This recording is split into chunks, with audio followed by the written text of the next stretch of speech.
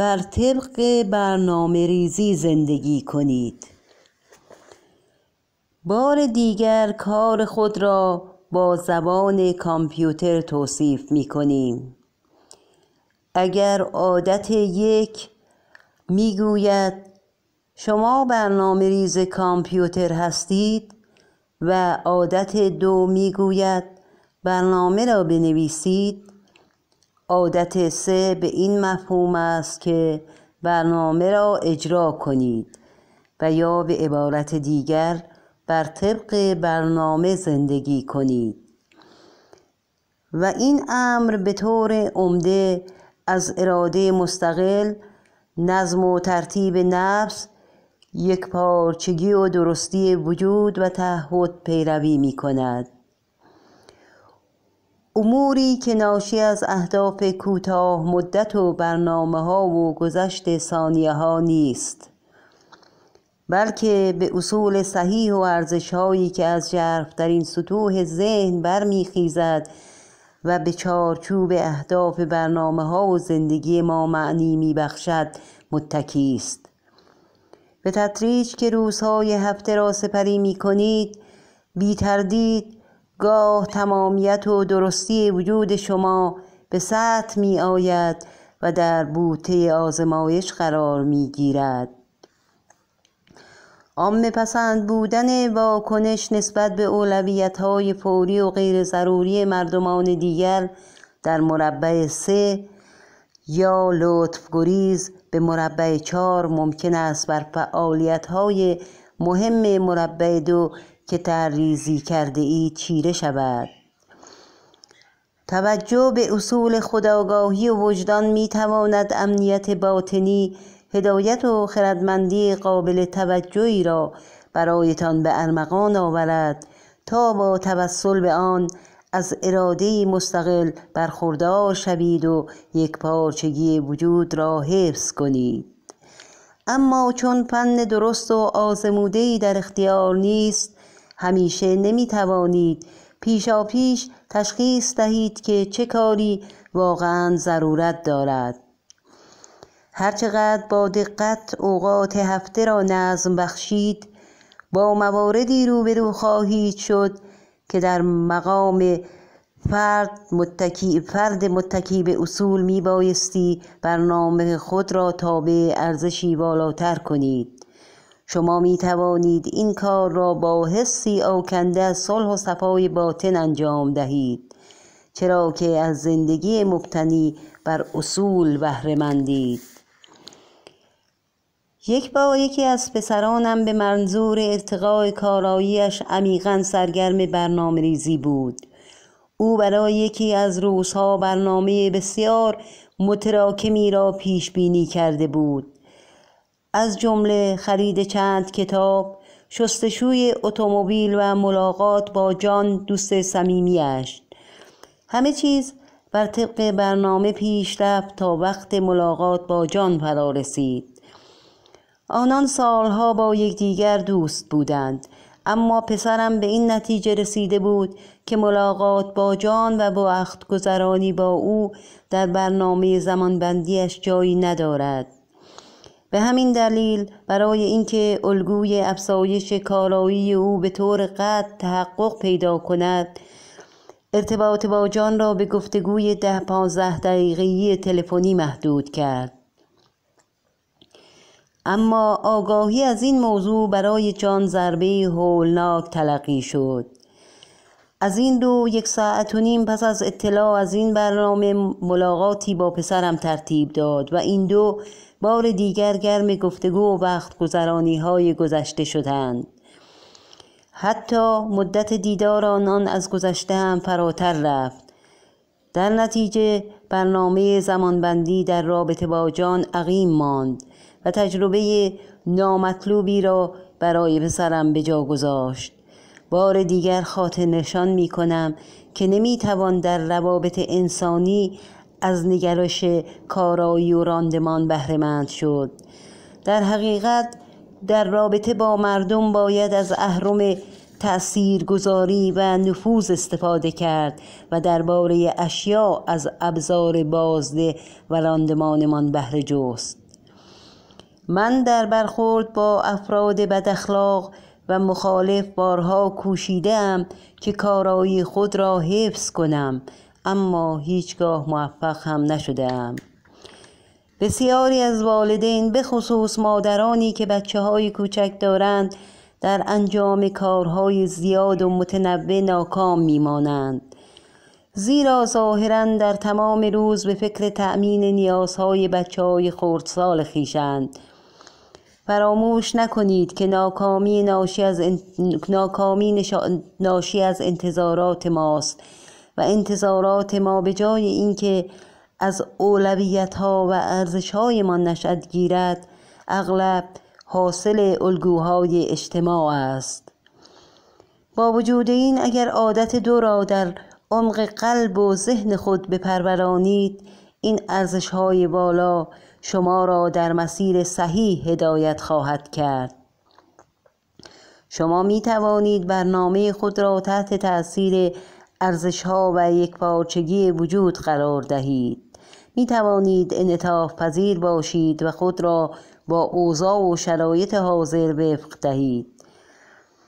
به این ترتیب اگر برنامه تان درست از آب در نیاید و یا ناگزیر به تغییر آن باشید احساس گناه نخواهید کرد. پیشروی نسل چهارم. یکی از دلایل مقاومت مردم در قبال استفاده از ابزارهای مدیریت زمان نسل سوم از دست دادن خودجوشی و انعطاف پذیری است. این ابزارها مردم را به اطاعت از برنامه وامی دارد چرا که نگرش مدیریت نسل سوم با این است که مردم نسبت به چیزها حق تقدم دارند هماهنگ نیست. ابزار نسل چهارم این اصل را محترم می شمارد همچنین به این امر واقف است که به جای ارزیابی راندمانمان نخست باید به بررسی میزان تاثیرگذاری و نفوذ پرداخت و این کار را باید از خود آغاز کرد. این اهرم تشویقتان می کند که در مربع دو مستقر شوید. اصول را باید به خوبی درک کرده و شالوده زندگی را بر آن بنیان نهید. افزون بر این برای ارزش ها و مقاصد خیش تعریف روشنی داشته باشید و تصمیم های هر روز خود را با آن معیارها اتخاذ کنید. همچنین یاریتان می کند تا در زندگی به توازن دست یابید. از محدودیت برنامه ریزی روزانه پا را فراتر گذارید و در چارچوب هفته برنامه ریزی کنید و هر آینه ارزشی را مقایر با برنامه های خیش یافتید با توسل به خداگاهی و وجدان اصول و مقاصدی را که مهمترین ارکان زندگیتان است در قالب تمامیت وجود حفظ کنید و به جای بهرهمندی از نقشه از قطنما استفاده کنید. مدیریت نسل چهارم به چهار دلیل مختلف پیشرفته تر از نسل سوم است. یک مبتنی بر اصول است. اصولی که یاریتان می کند تا وقت را در چارچوب آنچه واقعا برایتان مهم و مؤثر است بسنجید. دو تابع وجدان است. فرصتی را فراهم می آورد تا با توسل به حد اعلای تواناییتان که با عمیقترین ارزشهایتان هماهنگ شده زندگی را سازماندهی کنید. همچنین این آزادی را برایتان قائل است که برنامه هایتان را تابع ارزش های بالای خیش کنید.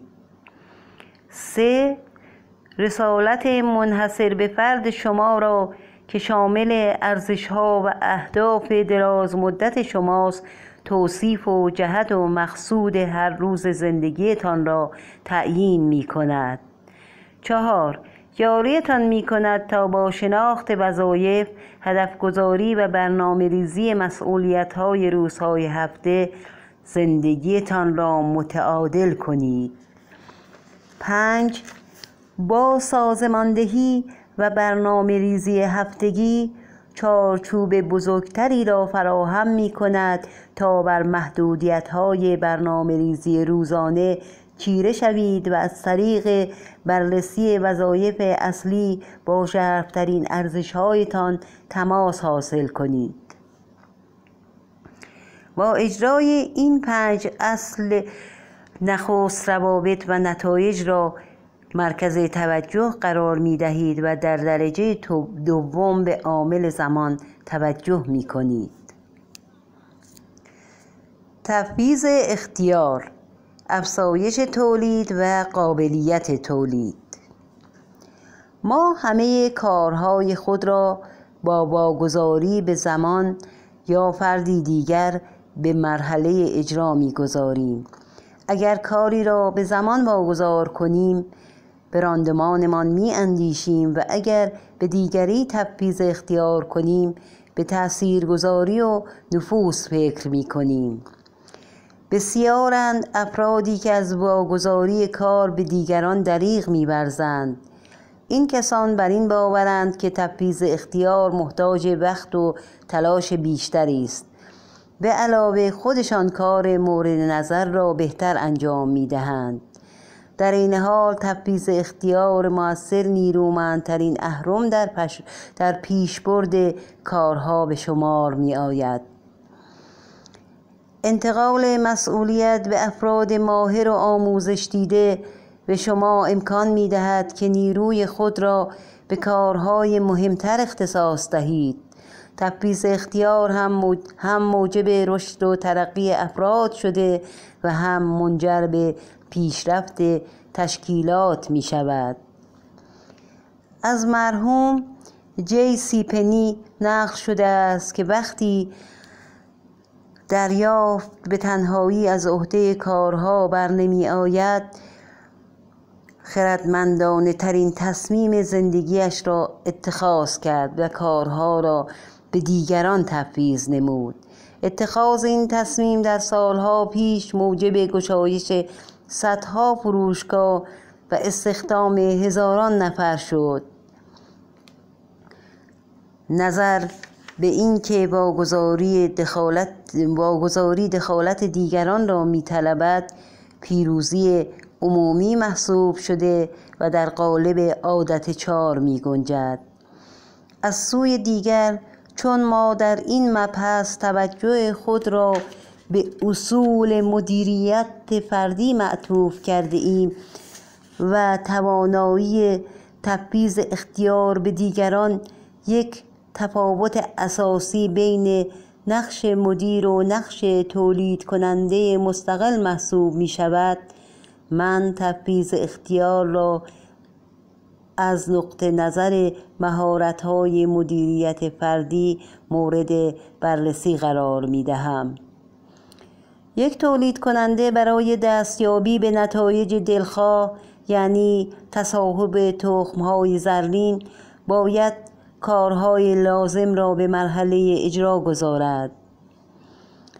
با این توصیف مادری که ظرفها را میشورد معماری که نقشه ای را طراحی می کند و ماشین نویسی که به تایپ نامه ها سرگرم است جملگی تولید کننده اند.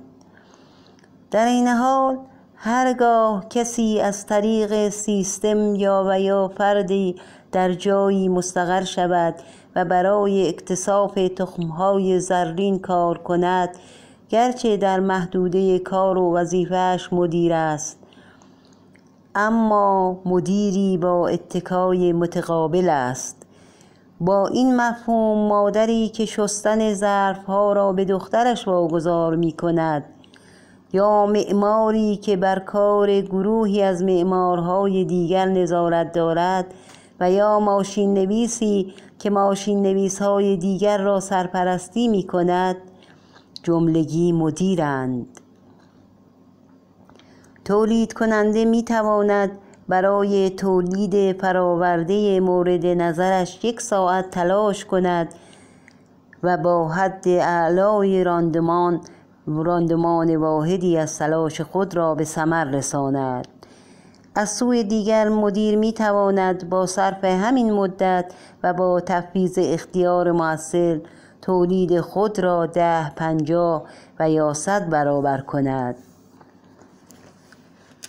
مدیریت اساساً به مفهوم پیش بردن نقطه, نقطه اتکا به سوی تولید بیشتر است و تفویض اختیار در این راستا کلید مدیریت موثر محسوب می شود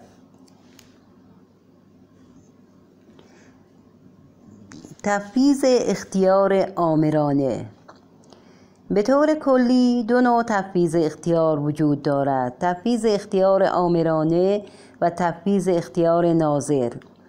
تفویض اختیار آمرانه یعنی این کار را انجام دهید به آن کار بپردازید و نتیجه را به من بگویید. بیشتر تولید کنندگان از دیدگاه تفویض اختیار آمرانه برخوردار هستند. این کسان همواره آستین ها را بالا می‌زنند و کارها را به مرحله اجرا می‌گذارند. اگر حتی به ایشان مقام سرپرستی یا مدیریت اعطا شود مسیر تفکرشان حول تولید کننده متمرکز است. چرا که اصولا نمی‌دانند چگونه کارها را به دیگران واگذار کنند و آنگاه منتظر نتیجه باشند این کسان شیوه ها و روش های کار را مرکز توجه قرار داده و تنها خود را مسئول نتایج می شمرند. یک بار هنگامی که به اتفاق اعضای خانوادهام به اسکی روی آب رفته بودیم نمونه جالبی از تفویض اختیار آمرانه را تجربه کردم.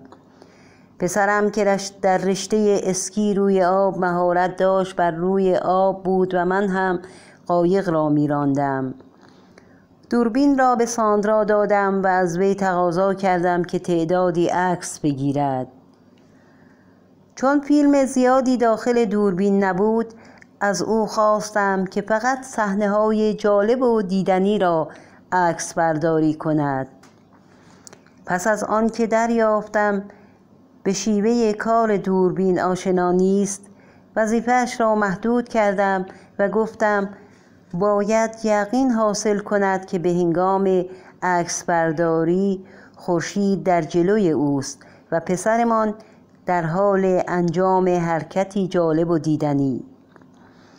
اما هرچه به فیلم های باقی مانده و بی تجربگی او بیشتر اندیشیدم فکرم به محدود کردن وظایفش بیشتر متمرکز شد. عاقبت گفتم نگاه کن ساندرا هر وقت اشاره کردم دکمه دوربین را فشار بده. و سپس چند دقیقه بعد فریاد زدم. بگیر بگیر. نگیر. نگیر. در حراس بودم که اگر لحظه غفلت کنم عکس برداری درست از آب در نیاید. این تجربه نمونه دقیقی از تفویض اختیار آمرانه است. نظارت تنگاتنگ به روش ها بسیاری از مدیران به طور مداوم امور را این گونه نظارت می کنند اما به راستی تا چه اندازه با چنین شیوهی کار پیش می رود و با دخالت در هر کار و هر حرکتی چند نفر را می توان سرپرستی کرد. راه بهتر و مؤثرتری برای تفویض اختیار وجود دارد. شیوهی که بر اساس بهرهگیری از خداگاهی قوه تخیل وجدان و اراده آزاد مردمان دیگر استوار است. تفویض اختیار نظارت کننده این نوع تفویض اختیار به جای روش ها نتایج را کانون توجه قرار می دهد به بیان دیگر انتخاب روش را به عهده افراد گذاشته و تنها ایشان را مسئول نتایج می شناسد البته در آغاز امر زمان و انرژی بیشتری صرف می شود اما این زمان و انرژی ارزش سرمایه گذاری را دارد. در این روش تکیگاه, تکیگاه اهرم به طرف تولید بیشتر حرکت می کند تفویض اختیار تفویض اختیار ناظر حاصل درک متقابل و روشن و تعهد نسبت به انتظاراتی است که در پنج مورد زیر خلاصه می شود. یک نتایج دلخواه.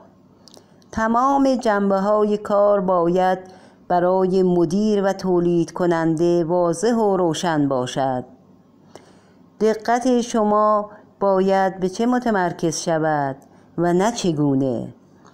ذهن به نتایج معطوف شود و نه به روش ها شما به عنوان مدیر باید با تأمل و شکیبایی نتایج دلخواه را در ذهن تولید کننده ترسیم کنید.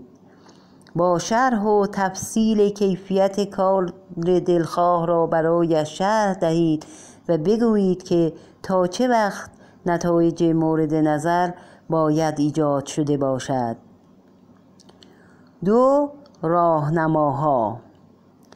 ابزار و عواملی را که فرد باید در محدوده آن عمل کند شناسایی کنید این پارامترها باید تا حد ممکن محدود باشد تا به تعیین شیوه ها و روش ها تبدیل نشوند. با وجود این بایستی محدودیت های جدی و معکدی بر محیط کار حاکم گردد.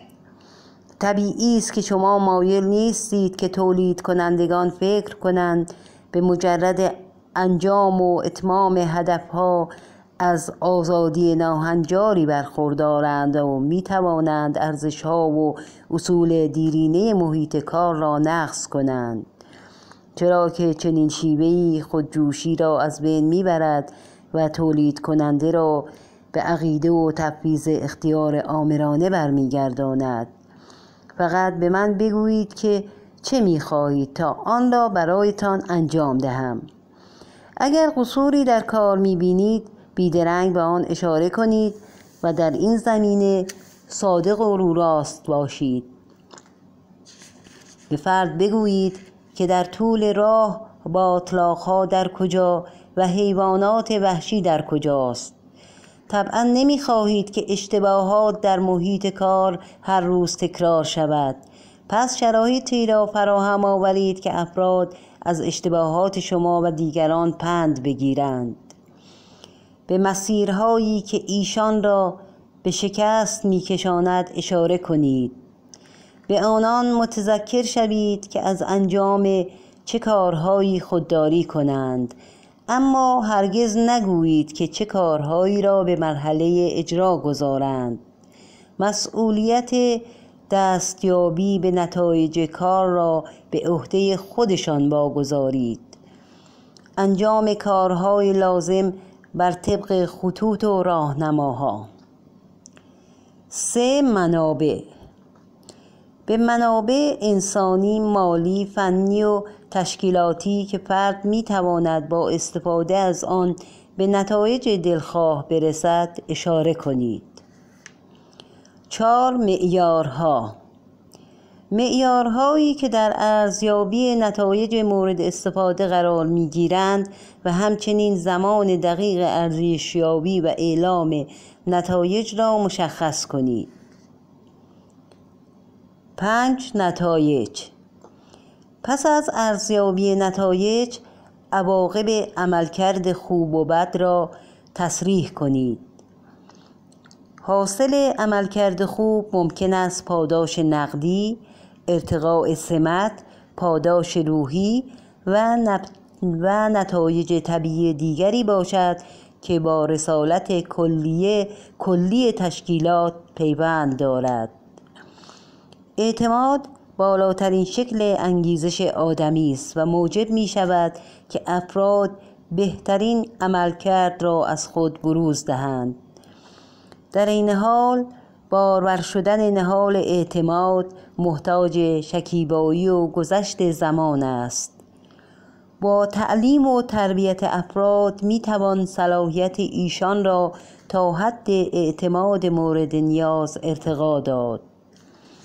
به اعتقاد من اگر تفیز اختیار ناظر به درستی اگر به اعتقاد من اگر تفیز اختیار ناظر به درستی انجام پذیرد هم مدیر و هم تولید کننده از مزایای آن بهرهمند می شوند و نهایتا کار بیشتری در وقت کمتری انجام میپذیرد.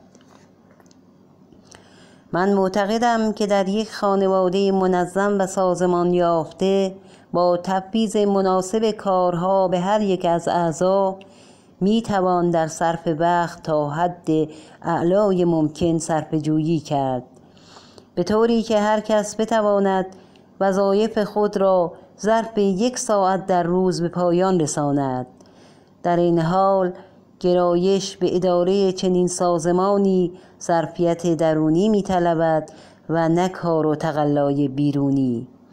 به بیانی دیگر نفوذ و تاثیرگذاری فرد مورد, فرد مورد نظر است و نه راندمان و کارایی او.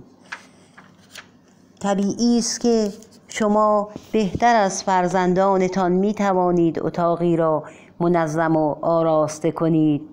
در این حال هدف نهایی شما تربیت و پرورش ایشان برای انجام چنین کارهایی است.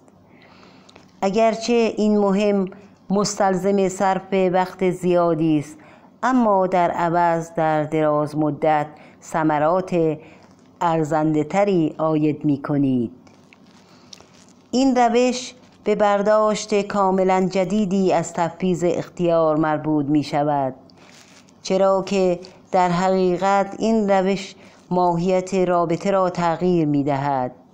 پیش خدمت ارباب خود می شود زیرا در انجام کار تابع نیروهای بیرونی نیست بلکه پیروی نیروی وجدان است. وجدانی که از تعهد نسبت به دستیابی به نتایج دلخواه نشأت می‌گیرد همچنین تولید کننده را وامی دارد تا در انجام وظایف با اصول صحیح هماهنگ شود و برای حصول نتایج دلخواه نیروی خلاقش را در مجرای صحیحی هدایت کند. اصول تفویض اختیار ناظر برای هر روز و هر موقعیتی قابل استفاده است.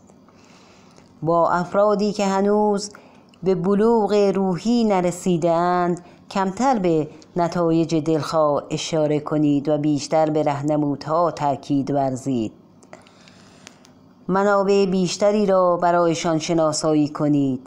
مسئولیت بیشتری را از آنان بخواهید و نتایج کار را بیشتر مورد بررسی قرار دهید. اگر با افراد پختتری سر و کار دارید شیوه کار خود را تغییر دهید. کمتر به رهنمودها و مسئولیتها اشاره کنید کوتاه سخنان که معیارها باید آشکارتر و متعادلتر باشند. تفویض اختیار موثر از این نظر که برای, برای رشد و تعالی فردی و تشکیلاتی بسیار لازم و اساسی است. بهترین شاخص مدیریت مؤثر به شمار می آید